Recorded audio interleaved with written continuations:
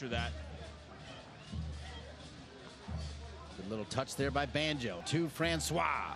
Francois running into the 18. Oh my! Side of his foot and tied at one. Francois has struck again.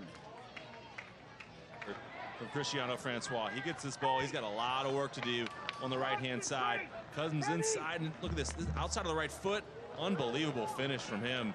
I think it took Tambakis by surprise. He wasn't expecting to hit it with the outside of his right foot. Watch this. He comes inside, just says, why not? Look at that bending ball to the far post. That's a heck of a fit. Christiano Francois. He gets this ball. He's got a lot of work to do on the right hand side. Cousins inside, and look at this, this outside of the right foot. Unbelievable finish.